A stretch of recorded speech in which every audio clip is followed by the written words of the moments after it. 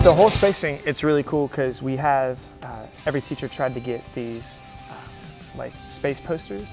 And even if you're not in science or even math for that matter, uh, we're, we're trying to incorporate it in everything and kind of make it visual and talk about it with the kids. So we have the astronauts posters all up in the hallways for Ohio. We have maps, we have information on the walls, and then we're kind of doing an ongoing theme everywhere. I mean, getting ready uh, at the beginning of this school year is crazy anyways.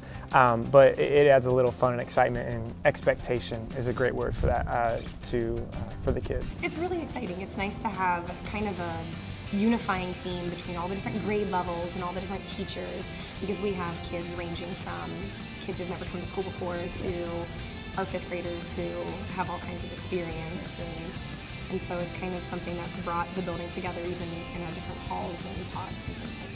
It's, it's so big, it's so unknown, um, and, it, and, it's so cool. It's, it's one of those things that's easy to talk about, um, uh, easy to get excited about.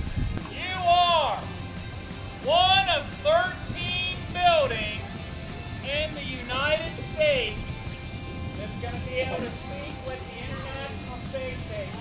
They're pretty excited. I haven't tried to overload too much since we do have that in our science unit this year um, that we're going to kind of do in winter but we have a lot of really exciting activities and a lot of it is cross-curricular, which is the great thing. We can mix so much of it with the math and with the um, social studies and with the reading standards. So it's something that, even though it's sciencey, you can really branch out.